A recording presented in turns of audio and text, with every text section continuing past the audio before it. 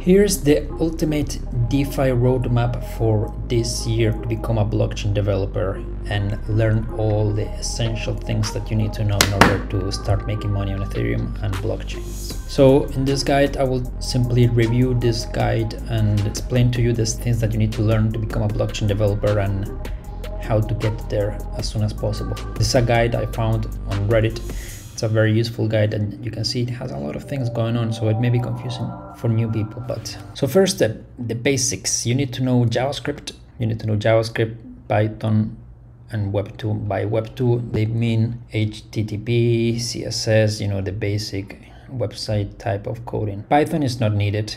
You, can do everything with JavaScript. I do everything with JavaScript. I don't use Python at all. You may use it for the backend for a few things, but Node.js does the same things and it does it very well. HTTP, I don't know what's that, but Git, you need to know GitHub. This is essential. You need to know GitHub. Then you need to learn about smart contracts. You need to know what is a smart contract, the basics, the high level languages such as Solidity and all the others. There are many others, but Solidity is the only one that we'll need the life cycle of a smart contract, like how it works in terms of when it is executed, what happens inside a transaction, how is that data stored in a blockchain. Because unlike a regular transaction, a regular server type of functionality where it is constantly running, a smart contract is only executed during this short period of a transaction. It doesn't continue executing outside of a transaction. Compiling, testing, and deploying smart contracts, that's super essential. You, you know, the first thing you need to do is to create a smart contract and deploy it because once you deploy that smart contract, you learn the entire step from creating to deploying and using the code that you've created. This is super important to do it fast. This you should learn everything about a month, a week if you're experienced, but a month is ideal. Then the blockchain, how blockchains work, the, the Bitcoin white paper. I don't think that's necessary. To be honest, you can read it. It's you know it's there, but it's not necessary if you want to become a blockchain developer. Then you have distributed ledger technologies, elliptic curve cryptography, and these are just nice to haves, but they're not really necessary.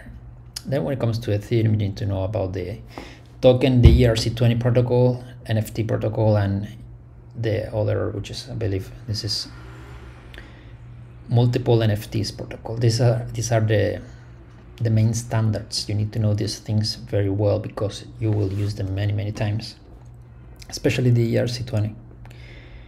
The Ethereum virtual machine, how it works. This is important. The mainnet and testnet networks. Right now there is Goerli and Sepolia, I think it's called. And they're constantly creating new ones and removing old ones for some reason.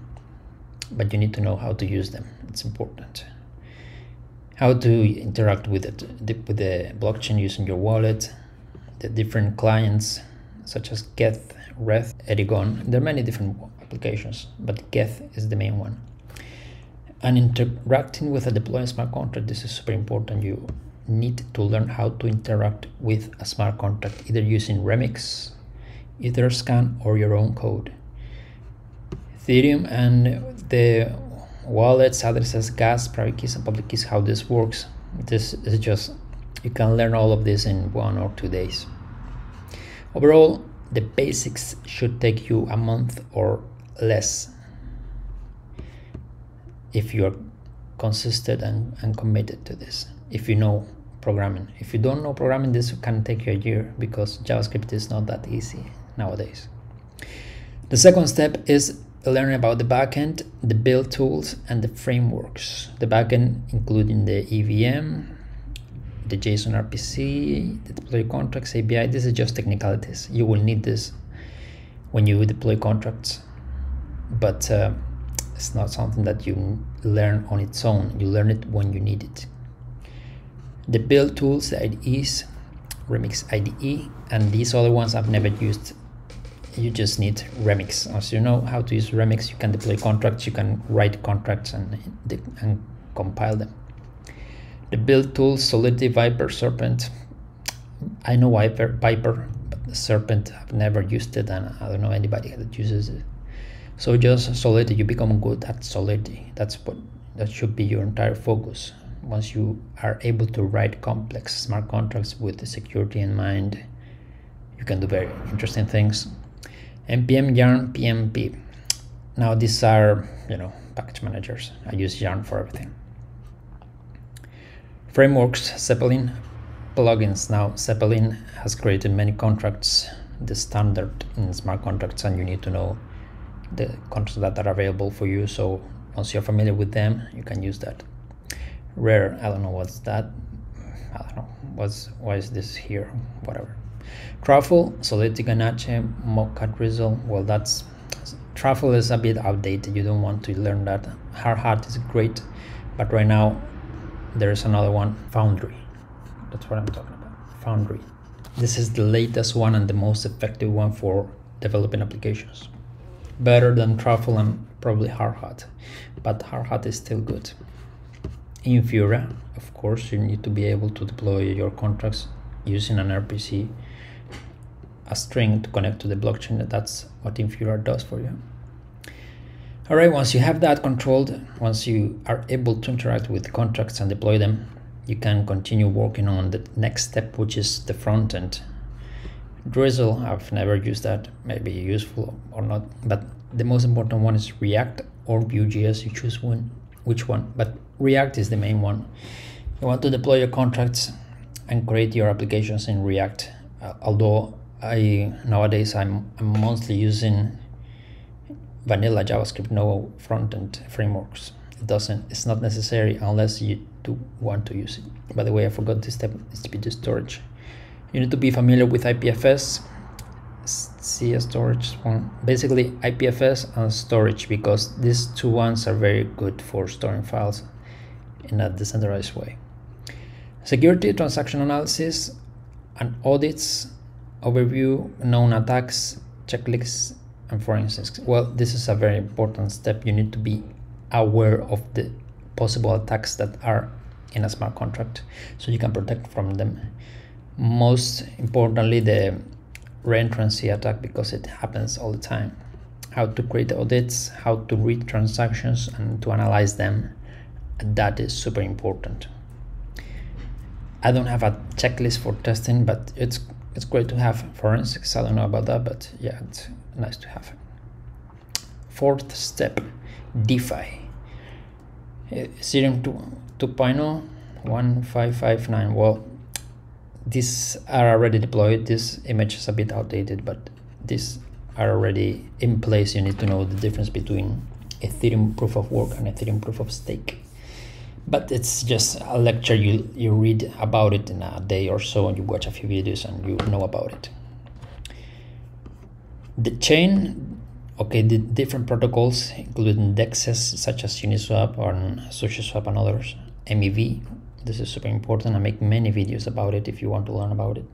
Sidechains okay binance polygon solana l2 solutions state channels plasma rollups and ZK rollups. Basically, this is a more advanced step where you learn about the DeFi ecosystem. This is very important. You need to spend a lot of time learning about how these DeFi protocols work, especially Uniswap, lending protocols, then MEV, which is something that you can do to an, an, an income. Basically, you create MEV bots that make money from for you using Flashbots and other tools. And L1 and L2 solutions basically Arbitrum and Optimism. These are the main ones. There's also Base Chain, which is the one controlled by Coinbase. So just read about them, understand how they work, and become familiar with them. And the last step, well, yeah, the last step is research the best practices, okay, and Ethereum name service. Yeah, these are the main steps basically to become a blockchain DeFi developer in this year. But I would include building your own reputation because you need to build some kind of track record of what you've built, what you've created to show people that you know what you're doing and help others, basically help the community give back to others. This is super important. Not many people talk about it, but it's super important to give back and to teach others or at least help them in protocols either by doing open source work or by contributing to protocols. You can also do hackathons. I have, I've never done one, but they're a very good way to promote your product and build something fast. So that's a very good thing. And I forgot to mention this DeFi section, which is lending stablecoin farming NFTs. Yeah, this is a very important section. You need to learn about all of these DeFi implementations. And once you're familiar with that, you can build your own. You can build your own stablecoin, your own lending platform. By the way, I'm making a tutorial on that. And farming protocols, yield farming protocols. This is a good one. And NFTs. All right, so these are the steps, the basics, the general section. Keep on, basically it's security and front end. DeFi, this is the most important section where you can spend many months, many, many months developing and becoming a professional, which requires you to build a resume of projects showing off what you've created, what you know. You need to know, you need to show people that you're capable of creating great products in crypto. And once you are able to do that, you can work for someone or create your own protocol, which is what I recommend. And that's how you become a professional and become a blockchain developer. Hope this has been helpful and let me know in the comments if you want to learn more about Ethereum and creating applications.